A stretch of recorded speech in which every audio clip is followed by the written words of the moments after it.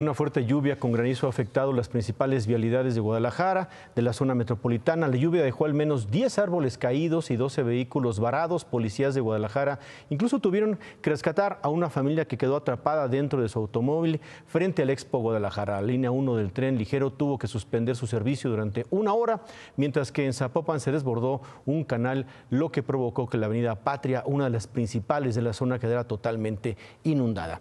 Mientras que en la Ciudad de México, pues también llovió afectó principalmente a la zona norte. Se registraron eh, varios encharcamientos sobre Insurgentes Norte, uno de ellos a la altura de la Plaza Forum Buenavista, otro bajo el puente cerca de la raza en dirección a Indios Verdes. Y por cierto, este tramo de la línea 1 del Metrobús suspendió su servicio pues, por casi tres horas en estación de San Simón a Indios Verdes. Bueno, vamos a hacer una pausa, pero antes, Javier.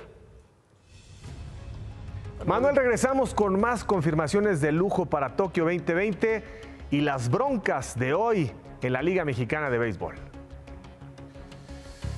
Bueno, eh, volvemos nada más eh, informar, informar eh, de último minuto. Bueno, pues se ha detenido por agentes de la Policía de la Ciudad de México, pues una orden de aprehensión en contra de Alejandra N. Alejandra N, a ver si podemos alcanzar a ver la imagen. Se complementó esta noche en la alcaldía Venustiano Carranza esta orden de aprehensión en contra de ella por su probable participación en delitos de extorsión, robo en pandilla, ambos delitos agravados. bueno, pues una mujer muy conocida por su trabajo aquí con los trabajadores, con los vendedores ambulantes en la, Ciudad de México. Bueno, pues va a haber más información. Bueno, vamos también a hacer una pausa y volvemos también con una gran imagen para cerrar el día. Volvemos.